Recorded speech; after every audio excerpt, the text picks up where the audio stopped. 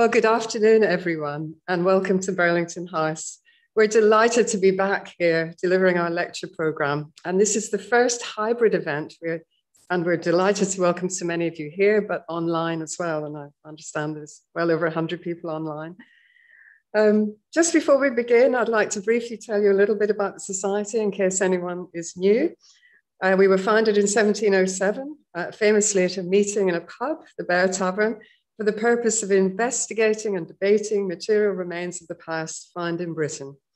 We were awarded a royal charter by George III in 1751 and charged with the encouragement, advancement, and furtherance of study and knowledge of the antiquities and history of this and other countries.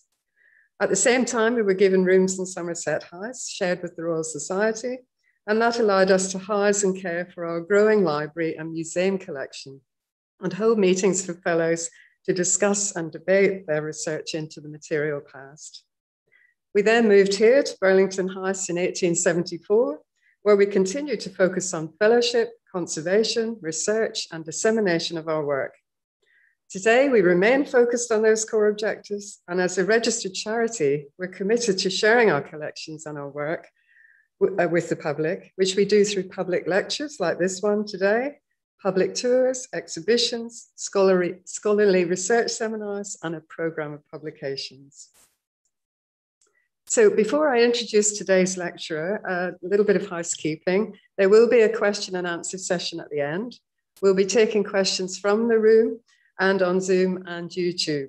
If anyone would like to ask a question online, please type it in the chat function on Zoom and YouTube, and I will ask as many as we can at the end of the lecture.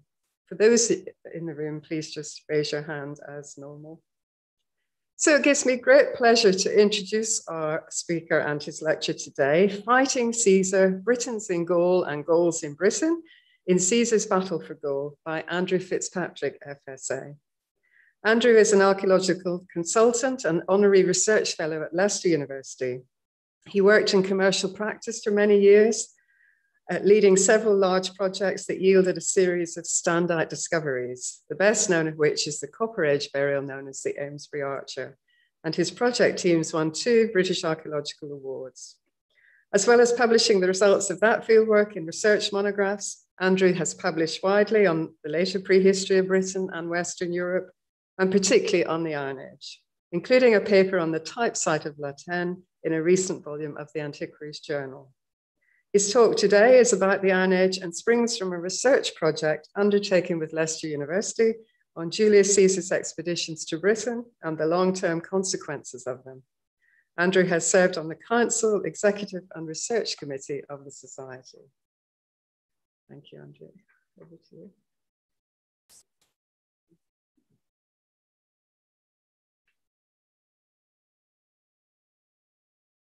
Thank you, Heather. I want to start with the proposition and to finish with a question. And the proposition is that sometimes, but very rarely, we can see individuals who are involved in some of the great events of written history. And the picture that you can see now is an image of that man who lived just over 2,000 years ago and whose grave was found near North Bersted, close to Chichester on the south coast of England. Much of what I'm going to do over the next few minutes is to work through in detail the evidence that we can unpick from the burial of a man and also the objects of his mourners placed in the grave with them. But from that small compass of the grave, I hope to move wider and to look at historical context in which I think we can argue that this man lived and died. Much of the work that I'll be talking about has been undertaken in parallel with an exhibition at the Novium Museum in Chichester that is still running until the middle of next month. And a lot of what I have to say today has never been seen in public before because it's been done in association with the museum. But let me turn to the proposition what can we see of individuals in history? Well, I want to start with Julius Caesar's comment that was written very probably in the year 55 BC.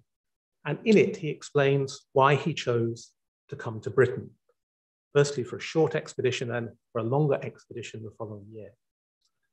And he said, Caesar was intent upon starting for Britain. He understood that in almost all the Gallic campaigns, succors had been furnished for our enemy from that quarter. In other words, the Britons had helped the Gauls in their battle against him. Now, we have some evidence for the great support that Caesar describes.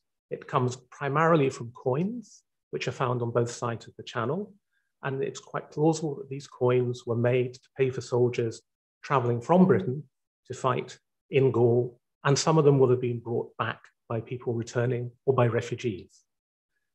But what of the individuals who use these coins? So when we see a picture like this, which is a, a map of all the finds of gold coins of a certain type about the size of a modern one pound coin, we can see they're found across northern France and Belgium and well across much of southern and eastern England. Now, these coins are issued from perhaps 80 BC onwards, and there's a long and complex history. But in the little diagram on the slide, the scale on the bottom shows the weight. And what happens over time is that the coins get lighter, there's less gold in them. And the scale on the left is the number of coin dies which are used to make it. And this is where the coins are literally made by hammering together two stamps. And circled in red is a huge increase in dies from around 500 individual dies to 1,500. And so it's thought that these coins were made at a time when an awful lot of money was needed. And it's much debated, the finer chronology of these coinages, but at least some, probably many, were used by people who fought Caesar. Now, the focus in the study of these coinages or coinages of this time is traditionally in this area across the channel, but it's not the only area of Gaul that had links with Britain. Much less well known are the coins that come from the lower Seine Valley and in Normandy, and which are found around the Solent, particularly in West Sussex and Hampshire, and then into Dorset. And these coins of the tribe, or attributed to the tribe, the Veliocasses, are something that I'm going to return to later on. But let us turn to the area around the Solent, in particular around Chichester. In the bottom of this drawing, you can see Selsey Bill. And next to the label West Hampnett is the location of modern Chichester. But 2,000 years ago, Chichester was yet to begin. And I just picked three sites to talk about briefly to give you a feel for what we know of the archaeology of this time just over 2,000 years ago. The Trundle is a hill fort, West Hampnett is a burial ground, and North Bersted is the grave that I intend to discuss in detail. So high above the West Sussex coastal plain overlooking it near Goodwood, Racecourse, is the Trundle. It's unusual in that it's a hill fort that continues to this time because over the preceding centuries, many mighty forts had fallen out of disuse. And indeed, the Trundle does not long last beyond the end of the first century BC but it would have been occupied at the time that this man lived. And people lived typically in the well-known feature of the British Iron Age, their circular houses, and here a reconstruction from the uh, ancient farm, but also a site plan of a Lavant reservoir just below the Trundle, where you can see the many roundhouses and the square buildings that were used to store grain. very important for our present purposes is the cemetery at West Hampnett. This was occupied or used between about 120 BC to about 40 BC, and it has 160 graves in it. And what's particularly important here is that none of the burials are inhumations, they are all cremation burials, and none of the graves contain weapons. And this is a contrast with what we'll see later. West Hampnett is the first Iron Age cremation burial cemetery. It must be introduced by new religious beliefs coming from Gaul in the second century BC. And the style of pottery that you see here, particularly the tall vases, but also the brooches that were put on the pyre with the dead people, all have strong links to Upper Normandy and the Seine. So in the first century BC, we have a good feel for the archaeology of the area around Chichester. And it's an area that is particularly coming to be intensively settled. The coastal plain, which is low-lying and liable to flooding, is gradually being drained. We see field boundaries being put in to assist with drainage. And it's in the context of the excavation of what was initially a quite ordinary looking Iron Age settlement and associated field systems and paddocks that the burial at North Bersted was found. And here you see a typical example of archaeology taken in advance of development. You can see uh, a whole mass of little lines with the trial trenches are dug with a mechanical digger, uh, trying to assess where further work may be needed. And you can see from the myriad of black lines that indeed further excavation was merited before a new housing estate was built. And this work was undertaken by Thames Valley Archaeological Services. And I'd like to acknowledge the great assistance that they've given me in the work that I'm talking about today. If we zoom in to the first century BC and the top right-hand corner, the northeast corner of the development site, we're just going to look at only pieces of evidence that date to around the first century BC. And you can see there are many ditches and paddocks, and scattered in between and amongst these fields are a few houses. But to everybody's surprise, in one area, a grave was found. And there was nothing to single out this grave. It doesn't have a large barrow over it. It's not marked by a ditch, but it had one of the most remarkable graves of the first century BC, not just in Britain, but in Western Europe. And I first became aware of this grave when one of the archaeologists who was supervising the work for the local planning authority sent me an email with a picture rather like this saying, do you know what these iron bars across this grave is or what are? To which my answer was very helpful, no idea. But you can see the small compass of the grave here. The four bars across and at the head of the grave to the left three tall vases like the ones in the cemetery at West Hampnett. And in the center, we'll see this in more detail, a bronze helmet and a bronze shield boss. By the man's feet, you can't see the skeleton at this stage in the excavation, the remains of some pots that have deliberately been broken. And when the bars were finally removed, we were left with the burial of a man who was about five foot three, so not particularly tall, he died between the ages of 30 to 45, so he lived well into his adulthood, but he didn't live to a ripe old age. We can tell from Ceri Falys's work on the human bones that he'd survived episodes of anemia and probably malnutrition as a child and as an adult. He also had osteoarthritis in his back. But the muscles and ligature re remains on his marks on his bones indicate that He'd led a very active life. The marks on his legs suggest that he may have ridden a horse, and certainly he'd done a lot of heavy work with his right arm. So we could see a little bit of the, the individual already. Now, the DNA of this man is in the, process of being published, and we hope that it'll be in a, a paper in Nature in the coming months. Um, but I can't say too much about that because I'm not allowed to. Uh, and I don't understand it terribly well either, but that's another story. But we can say a little bit more about where the man came from. In mm. the report that was published in 2014 by Andy Taylor and his colleagues at Thames Valley Archaeological Services, there was a first attempt at looking at the isotopes to try and establish where the man had spent his childhood.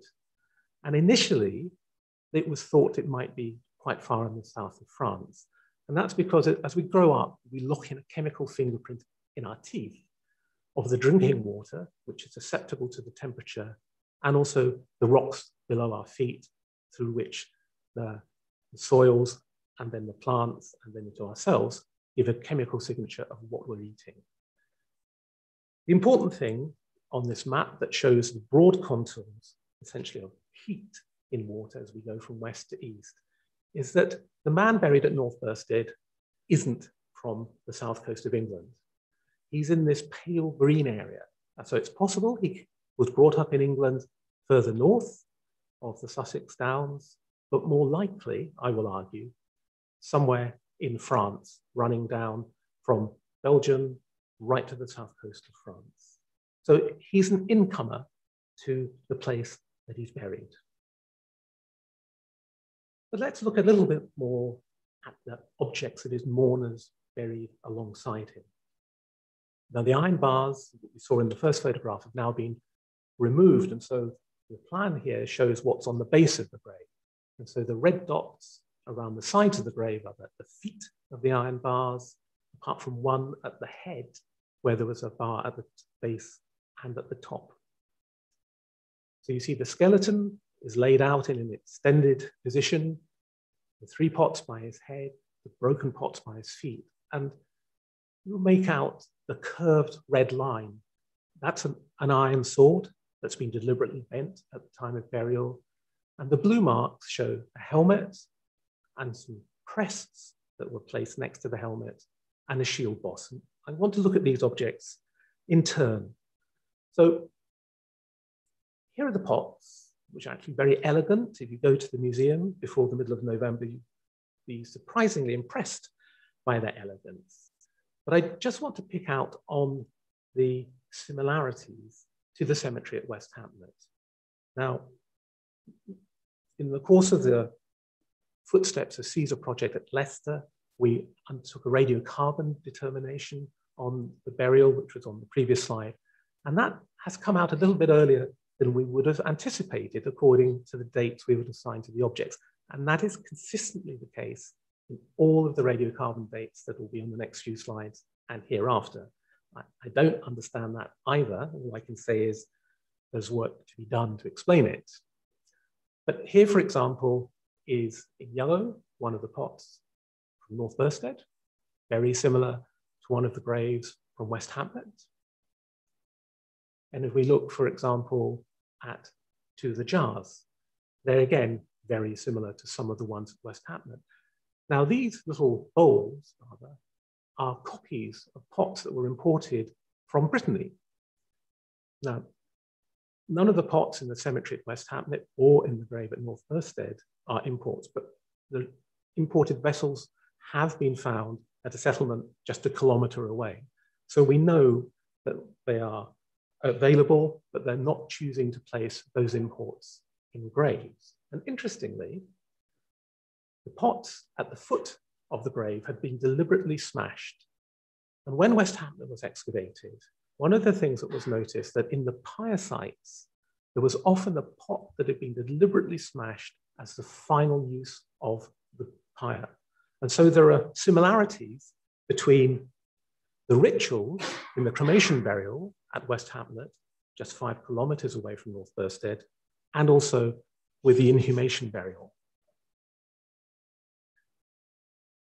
So we returned to the iron bars. Now, I was puzzled.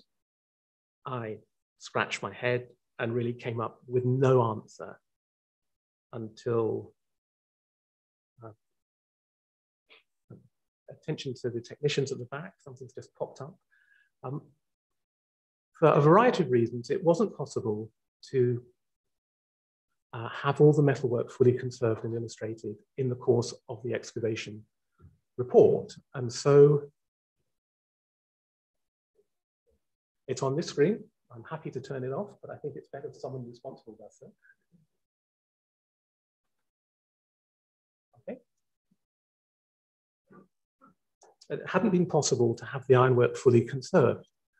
And this didn't happen until the work on the exhibition was due to start. And uh, the Novium Museum in Chichester is very fortunate to have as, one of its volunteers, Jackie Watson, uh, very fine conservative who worked for was English Heritage at the time for many years, but who now volunteers. And Jackie looked at the replaces, replaced wood, the mineral replaced remains of the wood attached to the ironwork. And she could unpick some of the clues. And it told us that we were essentially looking at an open box. So what we'd have been seeing on the top of the grave is the base, and there are a couple of sides, and there was one end.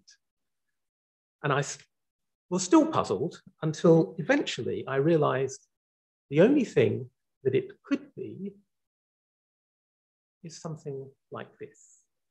Now, this is a reconstruction of uh, a cart or chariot burial in Yorkshire several hundred years earlier, but it's something that we see in Britain and, of course, all across Europe. So, by the time we get to the first century BC, the rite of burying chariots in Yorkshire has passed.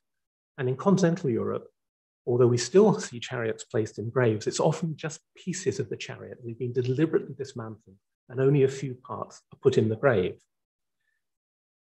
So if we look at the site plan of the Wetwang village burial, you can see the inhumation burial tucked up in yellow at the bottom of the picture and the wheels of the chariot above it.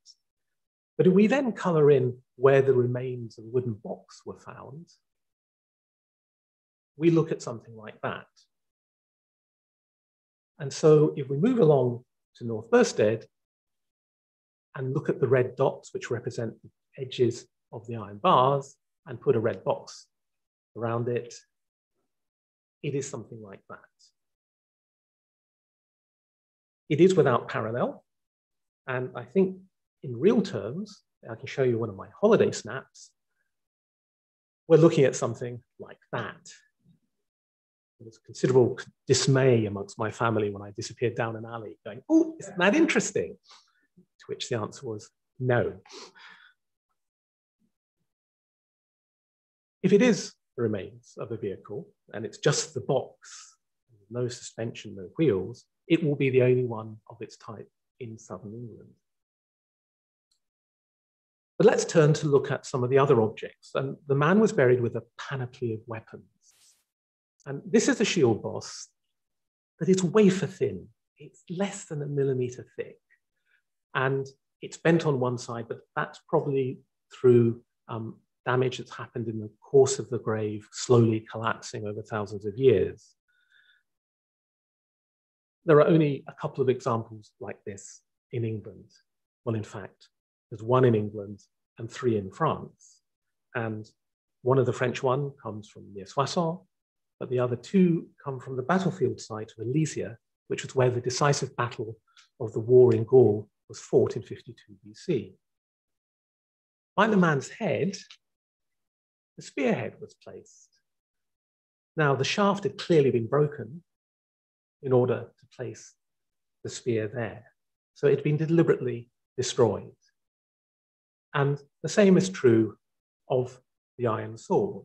It's been deliberately bent. Now, the tip is, we have located the tip, it wasn't found when it, the object was conserved, so the, the end is actually present, but the sword and scabbard have been deliberately bent round. And that is something that isn't very common in England at all, but is very common in France. And there are only two or three finds of this type of scabbard in England. And it's dated very accurately to between about 80 and 50 BC. So it's a, in probability, something that has come from France, or at least from people who knew what weaponry was current in France at that time. And if we just turn to look at the, the range of other finds, I've marked them in red here. And there are only a very small number of burials in the south of England that date to the first century BC.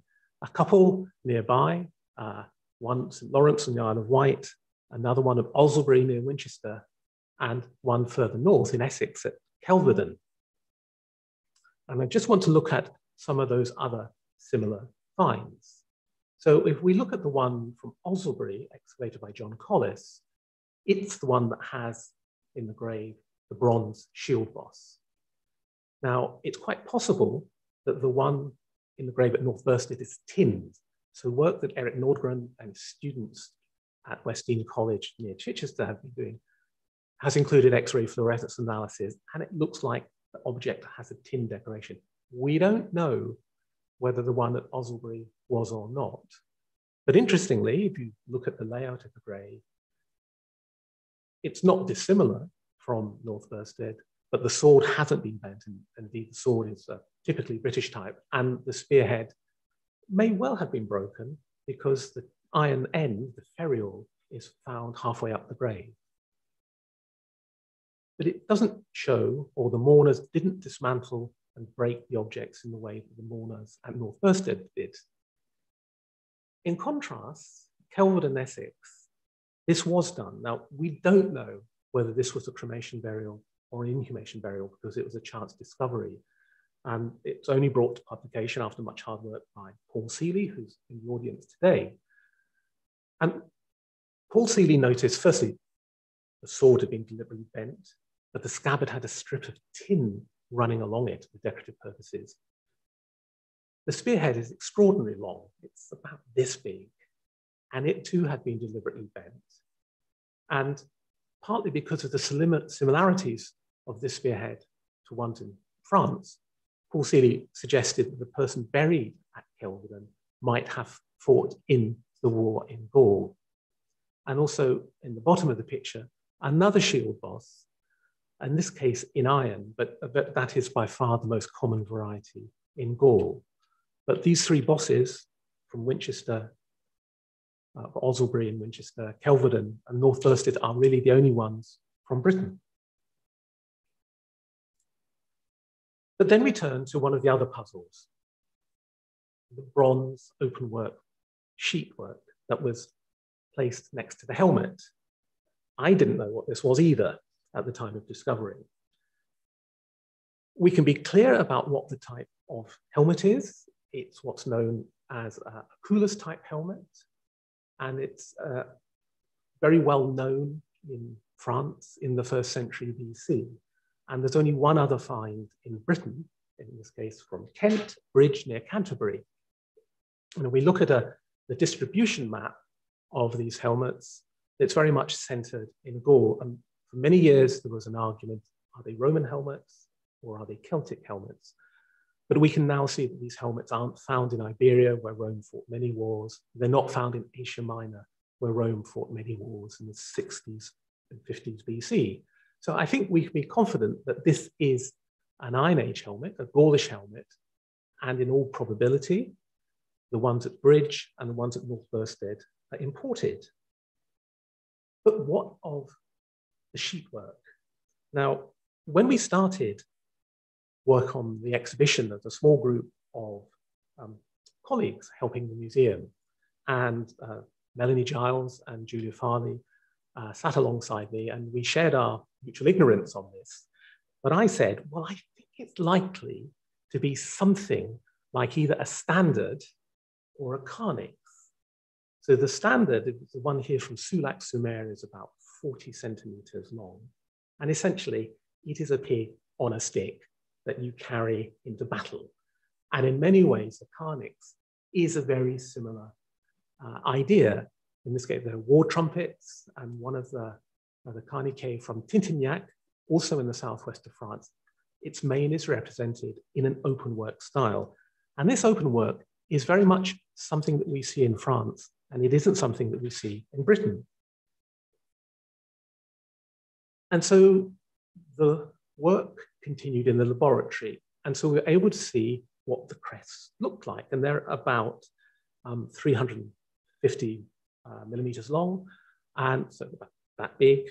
And we began to realize that the little objects that sit below this crest uh, had something to do with how the object was attached. Now, I don't want to talk too much about the decoration on uh, the sheet work, but suffice to say, it's, essentially there are four fields of compass-based decoration. The, the layout either side of the center is broadly symmetrical, but not precisely so. And over the top, there is a running scroll, uh, a wave-like pattern that's very typical of late Celtic art of the first century BC. And the second crest is similar, but was mounted in a different way. And having worked this out, the objects were then sent to the conservation laboratory to start preparing them for display. And it's at this point that James Kenny, Chichester District Council, and Amy Roberts, the curator at the Novium, who's been a fantastic assistant to me throughout, the two of them realized that on the helmet there were a series of solder marks, little circles of silver color. And it was at that point we realized that the little objects weren't, as had first been thought, some form of pendant, but were actually supports that sat on the top of the helmet. And so Amy Roberts and I went right back to the conservation records that the conservator had made as they micro excavated the block of soil in the laboratory. And we were able to piece it together. But none of that prepared me for what came back from the model that was made for the exhibition.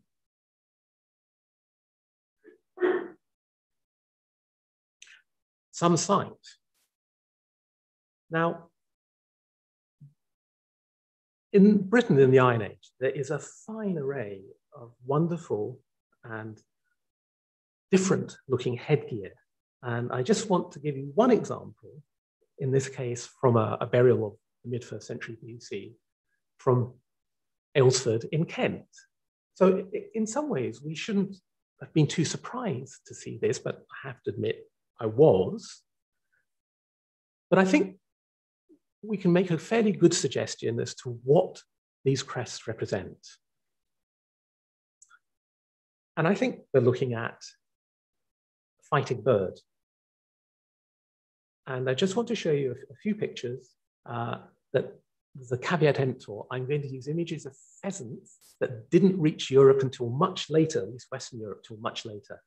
But they make the point, I hope, very clearly.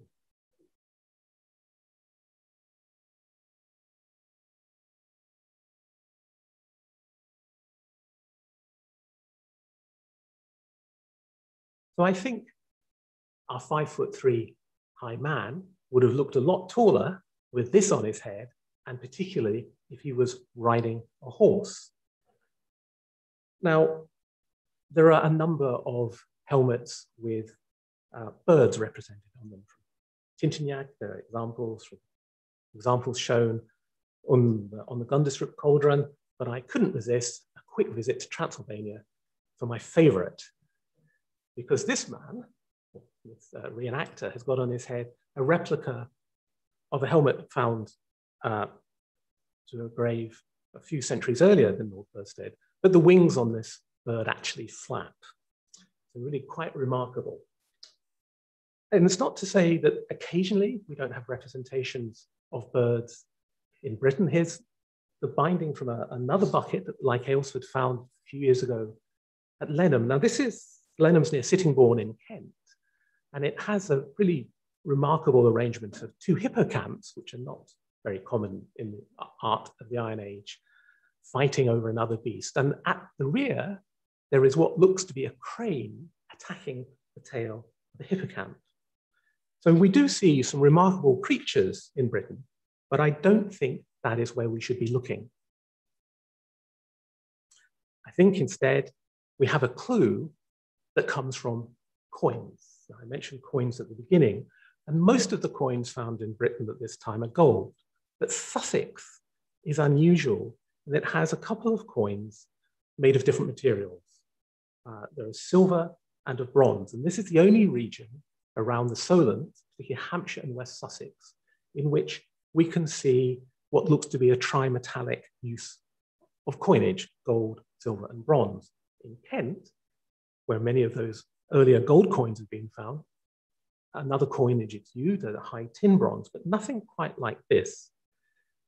And these coins have very strong similarities to the ones in uh, the Seine Valley and in Normandy. One is known as Hampshire thin silver, and they're very, very thin, and they're almost cup-shaped, fade in shape. And there's a very strong association between the side, both sides of the channel. The other one is what's known, the bronze coin, as a Chichester cock bronze. Now, I'm afraid I don't have a very good picture of it here. So this one, I hope, makes it clearer. And if you look carefully uh, at the tail side, you will see there is a bird. At the back, it's, its wings and its, its legs. At the top, its beak. But underneath, there's a face. There's a human face. And the distribution of these coins is very firmly focused around Chichester. Although this map now is quite old, more recent finds uh, reported through the Portable Antiquities Scheme give us more of the same. So it's very much a uh, West Sussex and Hampshire distribution. And what's interesting is that these coins copy ones that are made in the Seine Valley and which are attributed to the tribe of the Bellovaci. Now, whether it was actually the Bellovaci or another tribe, I'm not sure, but here's an example of one of the original coins on the right, where again, you can see uh, essentially it's a helmet with a bird on top, the human face very clear, and then behind the man's cheeks are the two legs of the bird. So this is the prototype of the coin that was then copied in West Sussex and was called, for obvious reasons, the Chichester cock bronze. So we've taken a look at the grave goods, the pottery, the weapons, the remarkable helmet, and then the coincidence of a helmet that is in an area that also has coins that show a man with a bird on his head. And this is where North Bersted sits in relation to the Bellovaci. And as we move to a conclusion, I, I want to step back from the fine-grained detail and look at the bigger historical context for a few moments. So the Bellovaci are one of the tribes who uh, we know lived in the lower part of the, the Seine Valley to the west of Paris. And Julius Caesar mentions them in the second year of his war for Gaul. Now, he started that campaign in 58 BC and it runs for almost a decade. But in the second year, having fought against the Helvetii, Switzerland, and the people of Central Gaul, he turns his attention to the people of the north. And there are three major battles in the summer. He starts off with the Belgae, and these are the people who he says live in northern France. And they form a coalition to fight against Caesar because they can see that they will lose their freedom. But they are defeated. He then moves on to and then eventually to the Nervii. And there's a, a very painful ending to all of these battles. But what Caesar says about the coalition of the Belgae against him is that the Bellovaci wanted to be the leaders of it. And so he wrote, amongst the Belgae, the Bellovaci had predominant influence in war because of their courage, authority, and number of warriors. They demanded command of the campaign against Rome.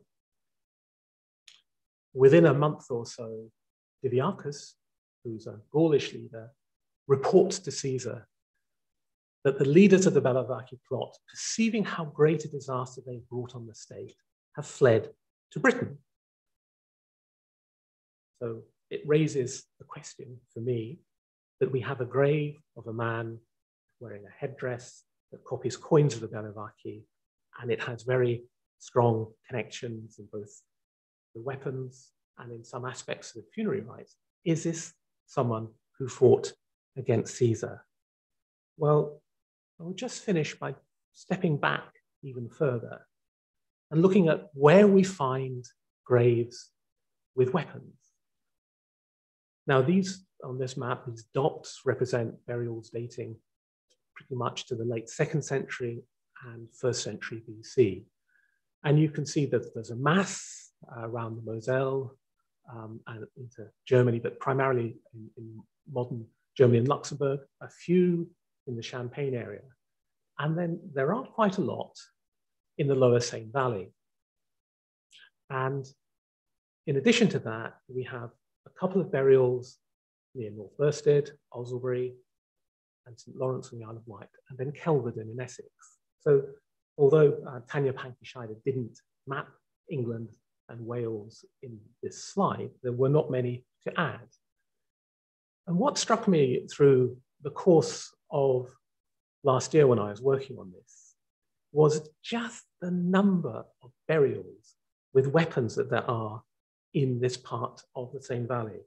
And I'd particularly like to acknowledge the assistance of French colleagues, Melanie Desmarais and Quentin Sawyer, who helped me do this work through the pandemic. And it's quite remarkable how many there are. And it's interesting that some of these graves contain pieces of dismantled chariots as well. Now, of the 64 burials that I've been able to catalogue, um, about a quarter of these date to the same time as the burial at North Bersted. And at least six, and maybe up to 10 of them, have the same sort of sword as was buried in the grave at North Bersted.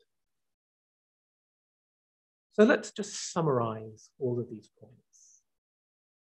If we look at what might have been made in Britain, what might have been made in Gaul, the helmet and the crest, the helmet is from Gaul, the crest is in a Gaulish style.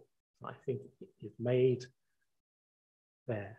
The sword and scabbard are found in both uh, Britain and in Gaul, but predominantly in Gaul. The shield is the same, the spear is could be either. The chariots, or the, the, if I'm right in suggesting that we have the remains of a, a vehicle box, so that the carriage, is something that we see in Gaul at this time, but not in Britain.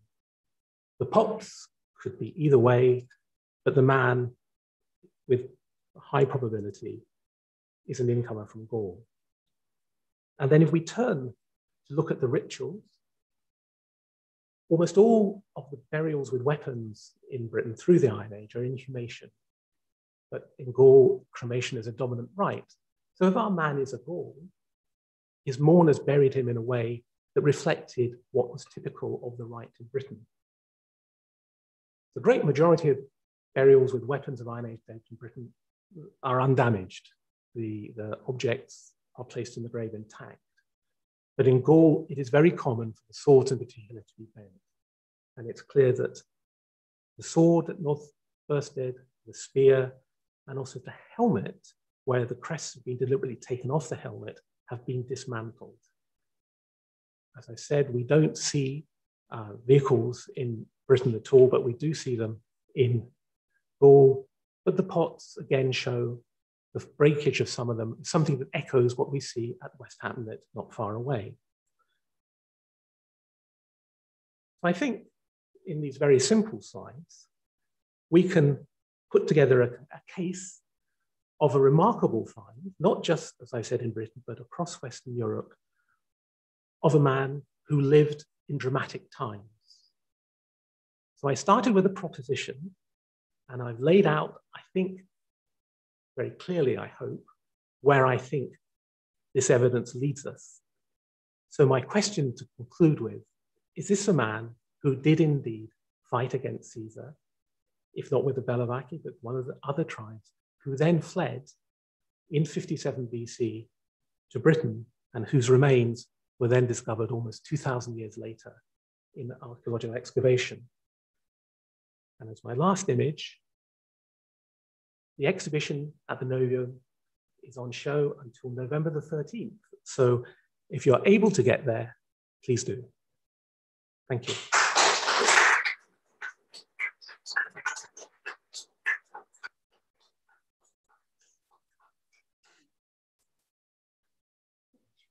Thank you very much, Andrew. That was fantastic and uh, amazing images as well. Um, shall we take some questions from the room to start with? Thank you oh. for a terrific presentation. Uh, uh, I took great heart from that because I remember many years ago. Oh, sorry, Paul, sorry. Just have the microphone. Sorry. Oh, thank you. I'll start again. Andrew, congratulations on a terrific presentation. Uh, I took great heart from that because I remember many years ago when I suggested that the Iron Age warrior from Kelvedon might have been directly involved in the Gallic Wars. I did so with great trepidation, but what you've said today has given me great confidence, and I suspect I may not be on the wrong lines. So, thank you. Uh, I have one uh, other observation, if I may. I was very struck at the decoration of this, this open work bronze decoration on the helmet, and it made me think offhand of some of these open work bronze plaques you get in places like the Somme-Bionne chariot burial, and indeed at um, Danebury Hill Fort, wherever it is, Hampshire, I think it is. Danebury's still in Hampshire. And I thought, I couldn't offhand think of anything that would link your helmet with these rather earlier open work plaques. I don't know if you had any um, observations on that, please. Thank you. Thank you, Paul, Paul Sealey. Um,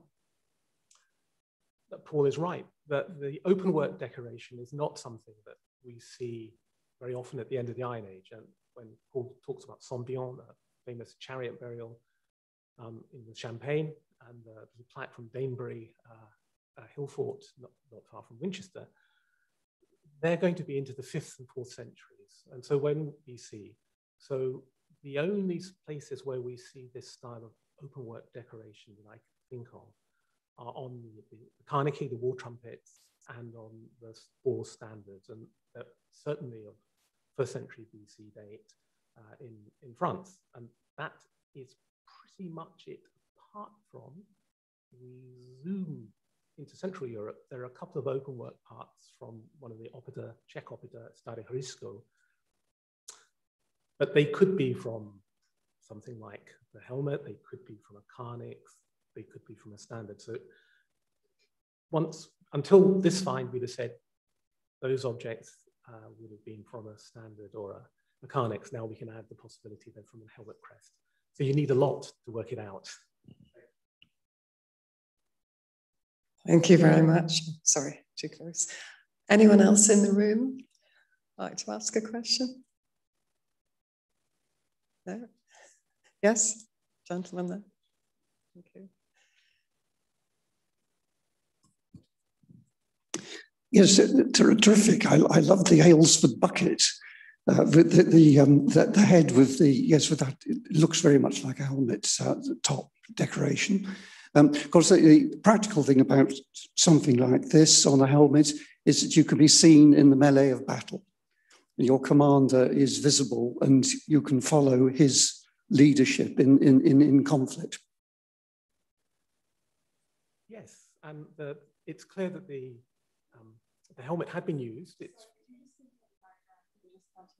okay, it, it's clear that the helmet had seen uh, considerable use uh, the, there's evidence for repairs of the, um, of the crests, which are just simply held on by rivets onto the mount. So it obviously been uh, used for real, not just a parade helmet.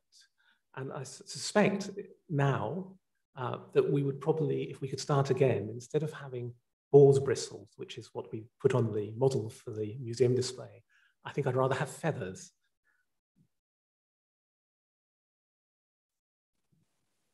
Oh, yes, sorry.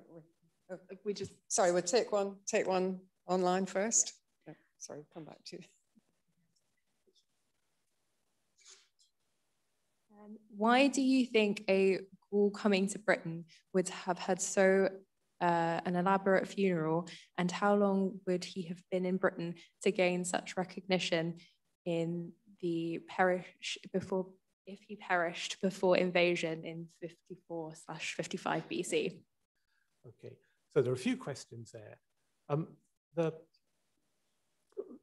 the first one to answer is it's the mourners who make the decision about how to bury this person. And if we're correct in the assumption that the objects buried with a person usually represent some of the accoutrements they had in life, this would suggest this person was a warrior, at least had the status of a warrior, and the remains of his bones would suggest that he did ride horses and he could wield a sword. So he would have been a leader, and the argument that I would put forward comes straight from Julius Caesar's own comment. It's the leaders who try to go away so it's not the, the purpose that they flee isn't, I don't think, for lack of courage, it's to avoid retribution on their people. And so by removing themselves from the scene, the chances of Caesar exercising what is often quite brutal and extensive punishment would be greatly reduced. As to when he died, he wouldn't necessarily, I wouldn't think that he, we have to say he died before Julius, came, Julius Caesar came to Britain in his expeditions of 55 and 54. They're restricted to a very small part of the southeast of England, of Kent and then into Hertfordshire primarily. So he wouldn't, Julius Caesar's armies would not have come towards the Sussex coastal plain. But the reason ultimately that he was given such a well-furnished burial is because of the links that tied the people of Britain and Gaul, which are long-standing over many centuries. And that's why, if we think back to the gold coins right at the beginning of the talk, people did cross the channel to fight against Caesar, and some of them came back, and those coins were what they brought back with them. Thank you.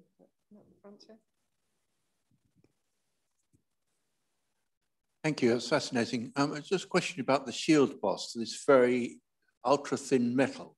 I mean, do you think that's a decorative color, cover over, say, a leather or some other material, or is it actually a symbolic object? Um, that it was that thin.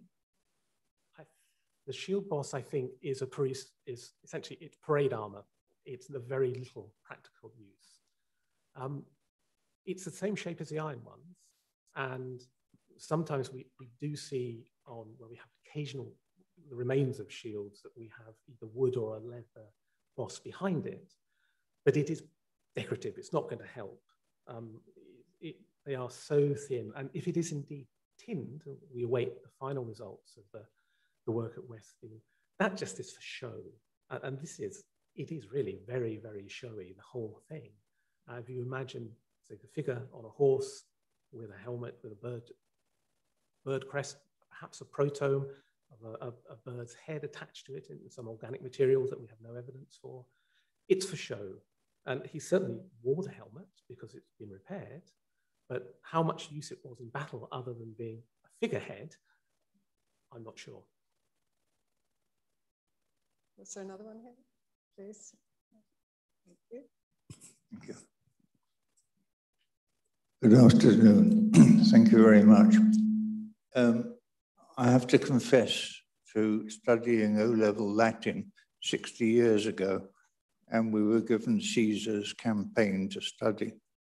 And I wondered then, and I still wonder as a general context and background, to judge the number of finds that we've encountered, what size army or force would somebody like Caesar have had in those days to achieve what he was doing? Well, we can be fairly accurate for some parts of Caesar's force because we know how many legions he had and he raised extra ones. So he would have had an army of in the region of 30 to 35,000 legionaries. Uh, what he very rarely talks about are the allies, the auxiliaries. Um, and so for, if we, to give an example for Britain, when he comes on his second expedition, which is a serious um, exercise, the first one is primarily for show. It's like going to the moon and planting the flag by crossing the channel, by crossing the sea. But the second time, he would have had somewhere in five legions, so anywhere between, say, 20 to 24,000 legionaries. And he simply says, I brought half the cavalry who were Gaulish, 2,000 cavalry, but he makes no mention of whether he had specialist slingers, or archers, which we know at times he has in his campaign. So it, the numbers he has are impressive, but they're always much smaller than the Gauls. And the reason the Romans win pretty much all the time is because they're a professional army, they're trained, they're well equipped, they're well supplied. Um, and the Gauls and the Britons don't have that. So the numbers of people who fought both in Britain and Gaul against Caesar are many, but the number of people who we, whose graves we found that we can suggest might be someone who fought Caesar are very, very small indeed. So my proposition is that sometimes we can find them, and my question is, is this one. Yeah, we've got a question uh, online, please.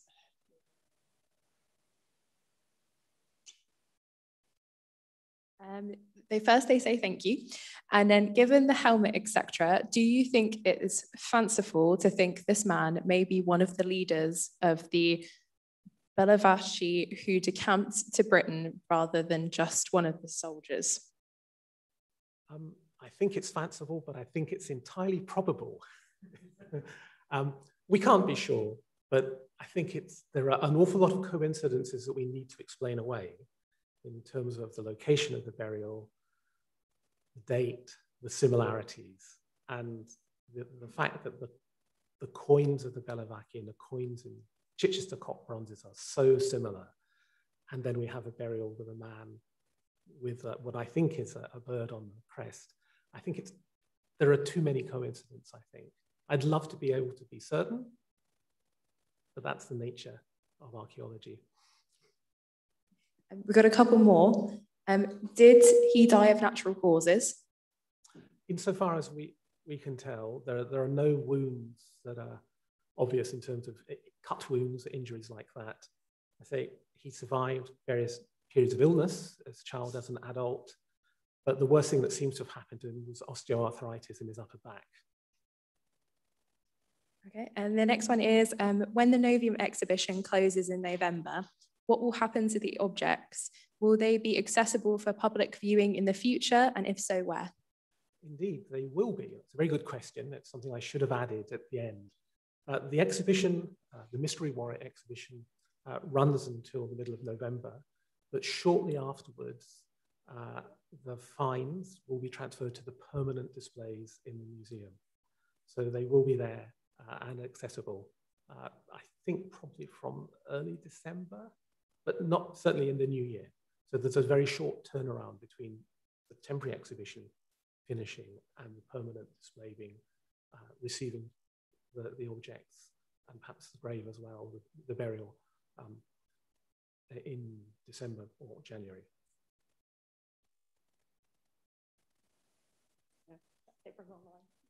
Any more questions in the room? No. Okay. Thank you. Well, I must apologize as well, as I completely forgot to introduce myself at the beginning, in case anybody's wondering. I'm Heather. It's my great pleasure to thank Andrew again on behalf of the Society, all the people online and all the people in the room for a fascinating insight into these wonderful objects and uh, Caesar's movements from Gaul into Britain. So thank you very much and shall we show our appreciation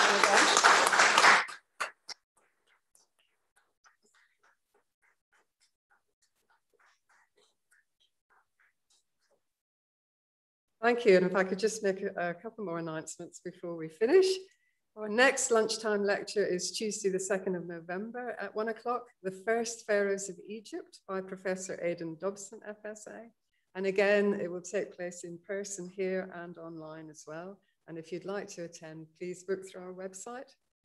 And our first in-person conference is this Saturday, the 9th of October, Experiencing Politics and Political Culture in Britain and Ireland, from 1300 to 1815, organized by Dr. Laura Flanagan, Jan Caddick, and Murray Tremelin.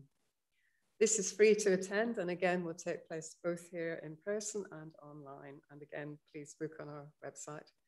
Our full autumn event program is live on our website and bookings are open. All our events are free and open to anyone to join. And I would encourage you all to sign up to Salon, our fortnightly e-newsletter, which you, again, you can do through the website and you'll find information on upcoming events and the Society and news from the heritage sector in general. So thank you again for coming. It's wonderful to see people in person. And thank you to all of you online and hope to see you soon. Thank you.